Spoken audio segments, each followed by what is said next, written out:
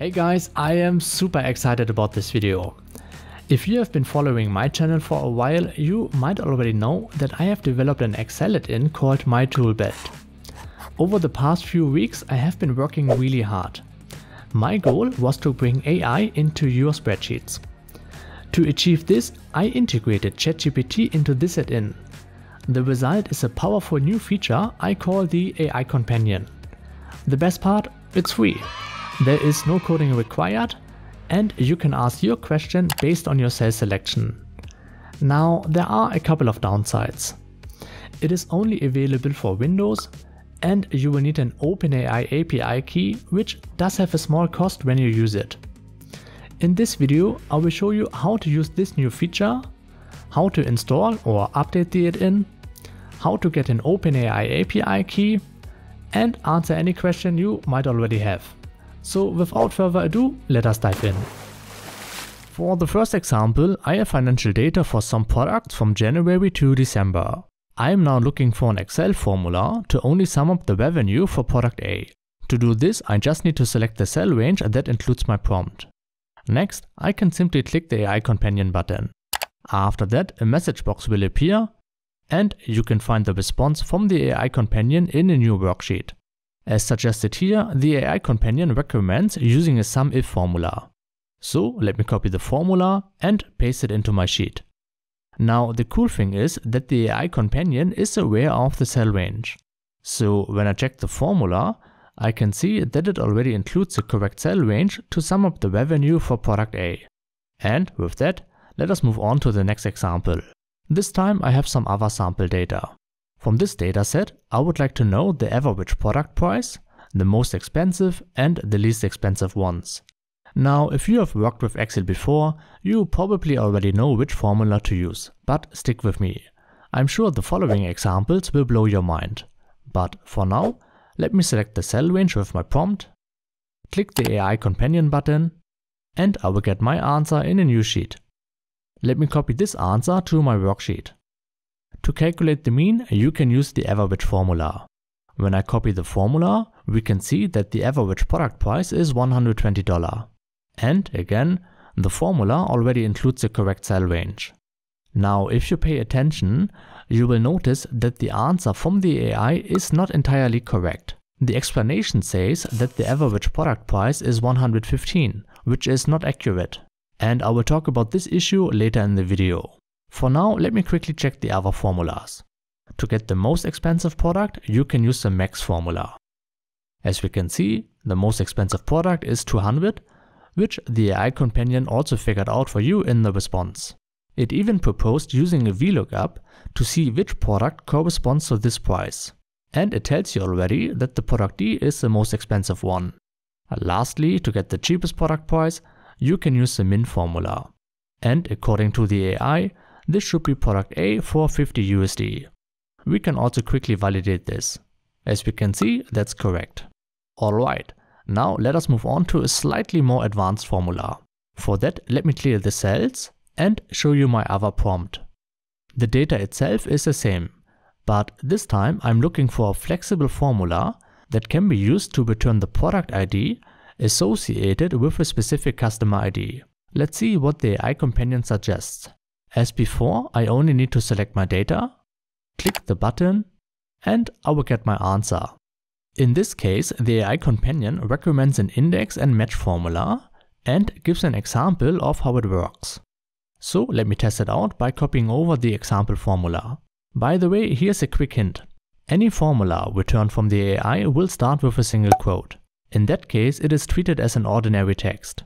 If you want to use the formula, just copy it without the leading quote.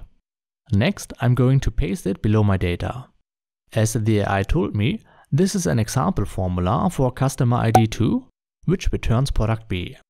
Now, the cool thing is again that the cell reference already matches my table. If I want, I can now easily modify the formula.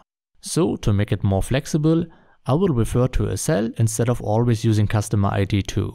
To make it even better, I will use some other features of the My MyToolBelt add-in.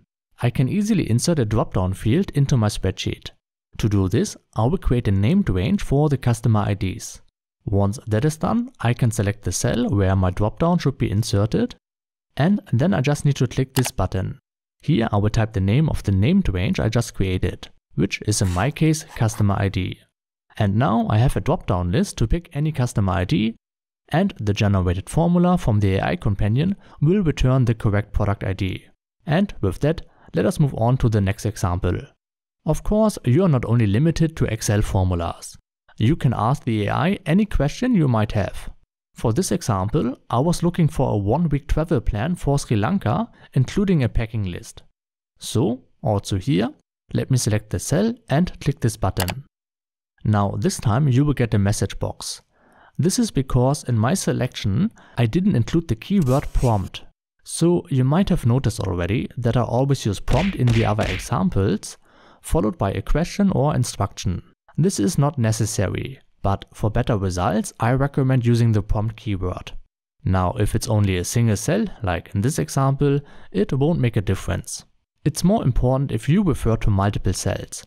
In that case, the AI companion can extract the prompt from your cell selection. Okay, so as I said, in my case, I will click on yes to continue. And now I have a complete travel plan for each day, and at the end, I can also find my packing list.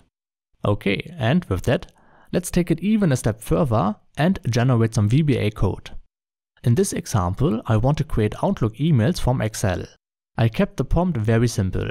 I'm just saying to generate VBA code that creates for each row a separate Outlook email draft, including the correct subject and body. So let me select the relevant cells and ask the AI. Once done, I can find the VBA code in the output sheet and some explanations on what to do with this code. So let me copy the code to my clipboard, go back to my sheet, and from here I will click on Developer and Visual Basic. Next, I will insert a new module and paste the VBA code. Now a quick warning. I would always recommend checking the VBA code briefly. Do not just blindly run any macros. This of course means that it would be beneficial if you have at least some knowledge of VBA and you know what you are doing. I'm saying this because if there is a bug in the VBA code, you might lose some essential data in your spreadsheet. However, in my case, the VBA code looks good. Only the worksheet name I'm referring to is missing. Therefore, before opening the VBA editor, I activated the sheet with the email data. But on the other hand, I like that the code includes comments for every line and that once again, the AI companion is aware of my cell selection. So the loop starts from row number 3, excluding my prompt and the headers. So when I execute the macro, I see that the emails are created for me. Let me drag them down a bit so that we can validate it. Okay, and I think this is pretty neat. I now have the emails ready to send out. Of course, if you want, you can also now assign this macro to a button. So when you click the button, the emails will be generated for you. Alright, and with that, let us move on to the last example. This time I would like the AI to analyze my data and provide me with the key insights. Once I select my cells and click the button, I will receive the insights in the output sheet. To validate the response, let me copy the output over to my sheet. Now here's a very important point. While some of the examples might be very impressive, please do not blindly trust the AI. Especially if you have important business decisions to make. Because the response from the AI might not always be correct, as I will show you in this example. To validate the key insights, I have grouped the data on the left by product and month. The first insight is that the highest revenue is generated by product C, which is correct. Next, it says that the highest revenue is in March, which is actually incorrect. The highest revenue was in December. Also, the highest profit amount was in December and not in May. Yet, the following insight is correct. Product B has indeed the highest profit margin. However, the numbers in the last point are simply not correct. While the revenue, cost and profit numbers are somewhat close, they are not accurate. So, once again, please do not blindly trust the AI. It's always a good idea to cross-check the figures briefly. However, I would say that the output can still be a good inspiration for you to conduct your own analysis, as I did here to calculate the profit margin by product and month. And that are all the examples I have prepared for you. Next up, I will show you how to install the add-in. If you have already installed an older version of the add-in, feel free to skip ahead to this timestamp. Now, for those who haven't installed the add-in yet, you can download it from my website. You will find the link in the description box of this video. On the website, click this button. There's a free version and a paid version. More on that later in the video. But the great news is that the AI Companion is available in the free version. All you need to do is to click the button and enter your name and email address. And don't worry, I won't spam you. Every once in a while, I will let you know if I'm running a promotion on the Pro version or if I'm releasing a new version of the add-in. Okay, now head over to your email inbox. In my email, you will find the download link and a detailed installation guide. After downloading the archive, you need to extract it. Inside this folder, you will find the add-in file. To install it, open up a new spreadsheet. Navigate to File, Options, Add-ins, and click on Go. In the new window, hit the Browse button to open the default add-in location. Next, return to the add-in file, copy it, and paste it into this folder. Once that is done, select it and hit OK. Make sure the add-in is checked before hitting OK again. And that's it. You should now see a new ribbon in your Excel file called My Tool Belt. Alright, and for those of you who have an older version of the add-in, you will notice that the AI Companion button is missing. I will walk you through how to update your add-in now. Everyone else, feel free to skip ahead to this timestamp. To update your add-in, click this button and select Check for Updates. You will be asked if you want to download the latest version. Confirm this message by selecting Yes. And The add-in will be then downloaded in the Workbooks directory. In that directory, you will now find the archive. Extract it and open the folder. We will now replace this file with the one you are currently using. First we need to deactivate the old add-in. To do that, navigate to File, Options, Add-ins and click on Go. Next, uncheck the My add-in and hit OK. This will deactivate the add-in. Now we can replace it with the file we just downloaded. So, once again, navigate to File, Options, Add-ins and click on Go. Next, click on Browse and replace the old file with the one you downloaded. Then confirm the message box by clicking Yes. Alright, and now you have successfully updated the add-in.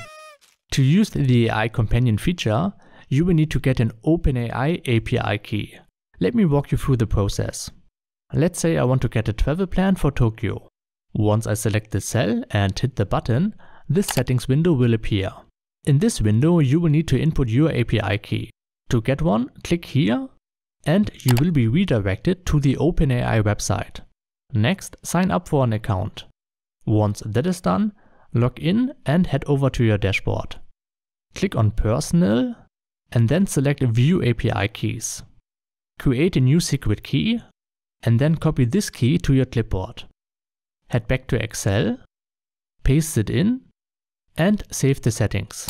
Now the next step is important. To use the API key, you must set up a payment method under the billing section. Otherwise, you will most likely get an error. I will talk about pricing in just a bit. But in any case, I would recommend setting a usage limit.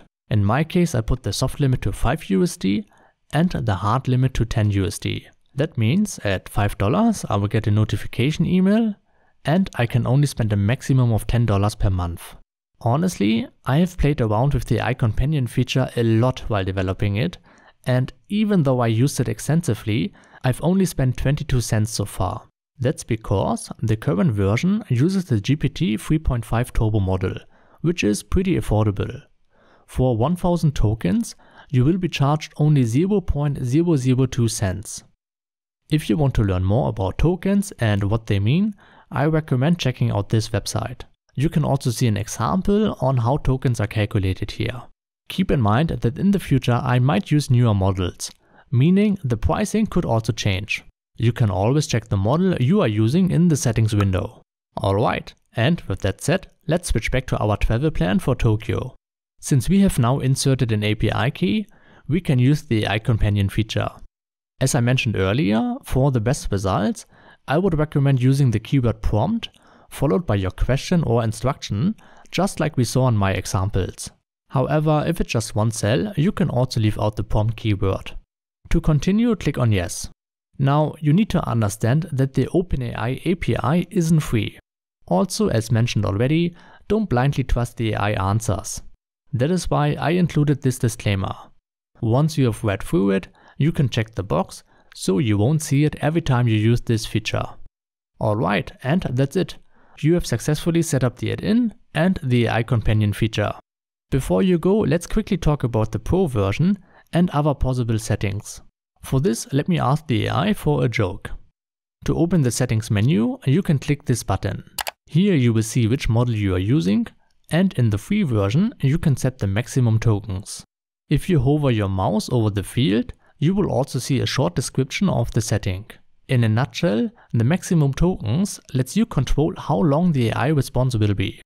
The temperature, on the other hand, affects how creative the AI's response will be. Now, you will notice that some settings are only available in the Pro version.